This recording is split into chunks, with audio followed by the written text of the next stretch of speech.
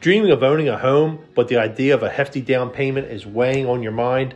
I get it. Saving up can be intimidating, especially right now.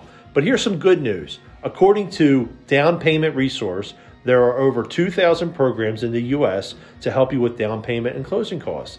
That's significant, and that's just from one source. I can help you find other ones for our local area too. So, what's the big deal? These types of programs offer grants and loans to help with upfront costs of homeownership.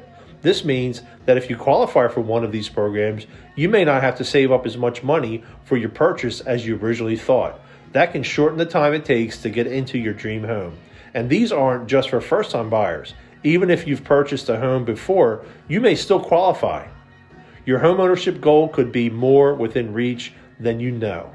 Let's explore other options together and bring you one step closer to your home sweet home. Give me a call and we'll get started.